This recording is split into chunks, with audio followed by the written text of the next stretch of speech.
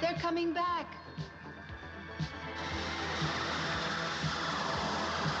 Come on now! Hey! Come on, come on, come on, come on! Boom!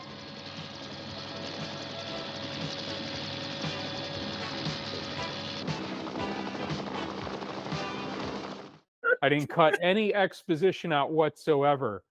All I cut out were just belabored helicopter scenes. This movie, when we were watching it, you could already tell that the director had a hard on for the fact that they got the use of a helicopter. There were still way too many shots of and from this helicopter.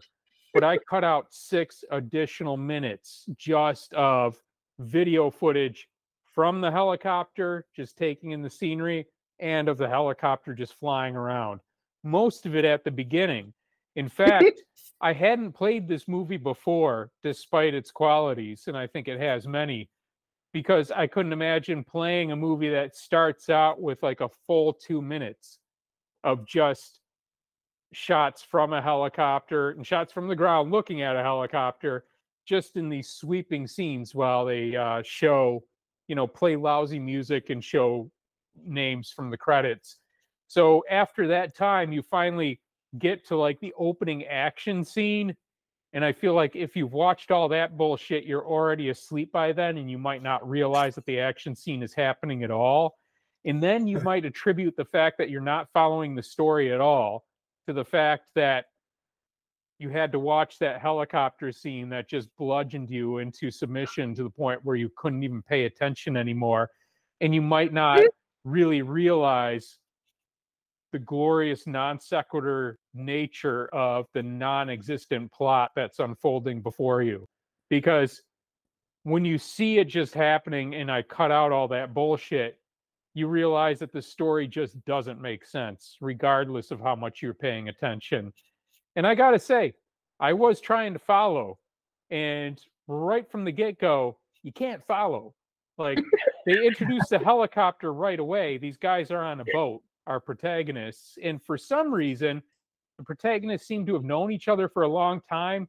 Yet the one guy is getting the other guy's name wrong all the time, and I couldn't understand that. He was calling this guy Washington, and the guy would say, "My name's not Washington, it's Muhammad." Hey, how's it going, Washington? I don't know. My name's Mohammed. And I was thinking, where does this error come from? The fuck is the story behind this? Never tell us. But in any case, they're out on a boat and a helicopter's flying overhead and they get really pissed about it. And they say that this one guy would be the only one who would do such a thing.